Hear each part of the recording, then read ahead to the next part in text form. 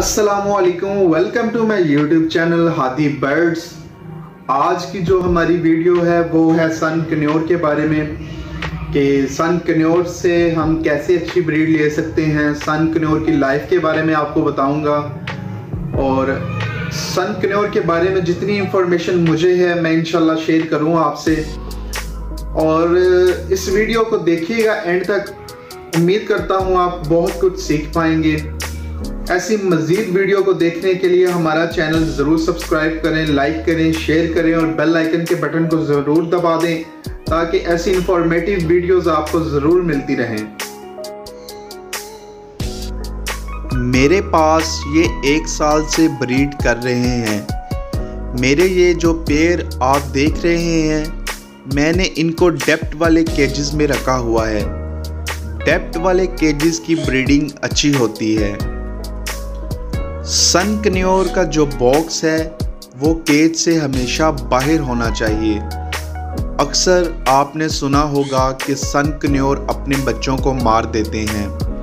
वो बॉक्स का ही इशू होता है कि बॉक्स इनका फिक्स नहीं होता, जिसकी वजह से ये कंफर्टेबल नहीं होते और अग्रेसिव हो जाते हैं। जो बॉक्स है वो हमेशा केज से बाहर होना चाहिए। इससे आपको आसानी होगी चिक्स चेक करने में और अंडे चेक करने में। और बर्ड को आप कंट्रोल भी कर सकते हैं। और सन कन्योर का जो बॉक्स ब्रीडिंग बॉक्स साइज़ है, वो रिंग नेक साइज़ का होना चाहिए। ज़्यादा बड़ा नहीं होना चाहिए, क्योंकि इस बर्ड का ये इशू है कि ये अपने अंडे बिखेर देते हैं और इनके बच्चे एक्सपायर हो जाते हैं और इनसे संभाले नहीं जाते।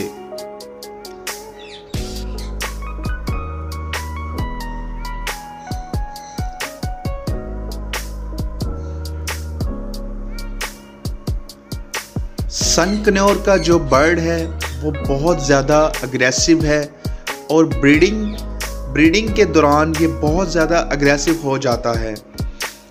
आपको चाहिए कि जितना भी इसको पुरसकून माहौल दे सकें, आप इसको मैसर करें, ताकि ये अच्छी ब्रीडिंग कर सके।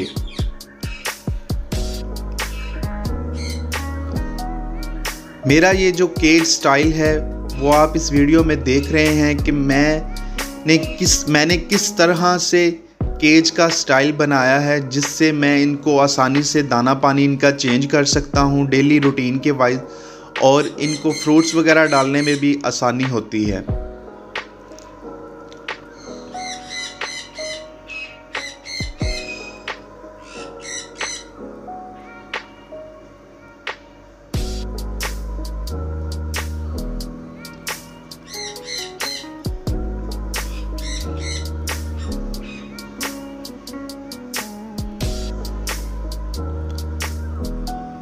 इनका जो केज साइज़ है, वो दो दो चार है।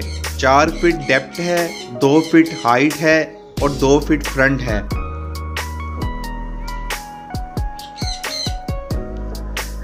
सन कन्योर का फेवरेट फ़ूड मैंगो है। ज़्यादा शौक से ये मैंगो खाते हैं। उसके बाद सेब, केला, उसके बाद अंगूर बड़े शौक से खाते हैं।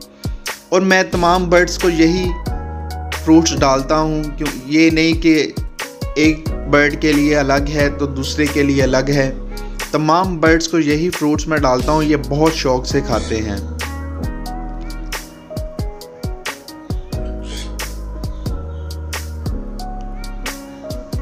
आज जितनी मालूम मैंने आपको दी है, उम्मीद है कि आपको अच्छी लगी होगी। आज के लिए इतना काफ़ी है। अगर आपको मेरी ये वीडियो अच्छी लगे तो मेरे चैनल को सब्सक्राइब करें, लाइक करें और शेयर कर दें। मिलते हैं अगली वीडियो में इन